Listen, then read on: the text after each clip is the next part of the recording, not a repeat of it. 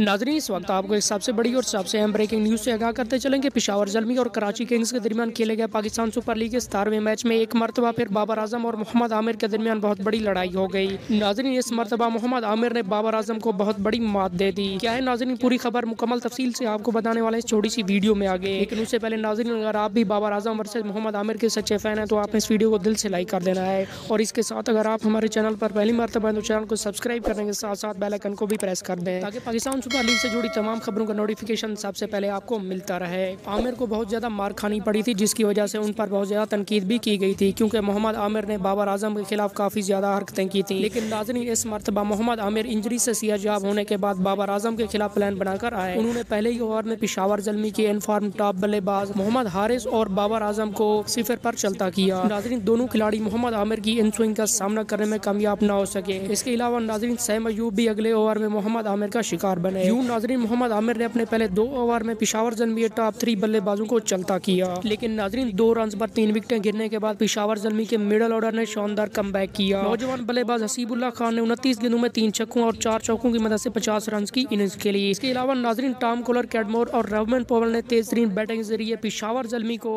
एक बहुत बड़े टारगेट तक पहुँचा दिया।